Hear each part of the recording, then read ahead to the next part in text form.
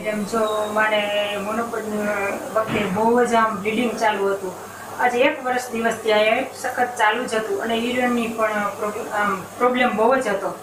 અને આ મીઠું મેમ પાસેથી જે મેં ઓપરેશન કરાવ્યું ને, એનાથી મને બહુ જ સારું છે. બહુ આ નવ, આજ આઠ દિવસ થયા, પણ હું સખત બધું કામ કરી શકું એવી મારી સ્થિતિ સારું, બહુ સરસ, આમ મેડમે મારું ઓપરેશન કર્યું છે.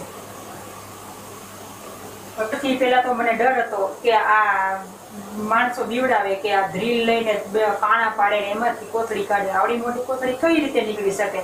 પણ મને જરાય બીક લાગી નહીં. ડૉક્ટર કે તમને ઇન્જેક્શન આપવામાં છે મને ખબર જ હતી કે ઇન્જેક્શનથી બેડું થઈ જાય અને જ્યારે ઓપરેશન કર્યું ત્યાં મને કાંઈ ખબર નહોતી. જ્યારે બેડ ઉપર આવી ત્યારે મને ખબર પડી કે આ તો મારું ઓપરેશન થઈ ગયું અને સેજ જઈ દુખાવો નહીં, જરા પણ નહીં એમ. એટલે બીવાની કોઈ જરૂર નથી કે લેસરથી કરે એટલે ડ્રીલ પાડીને આપણું ઓપરેશન કરે.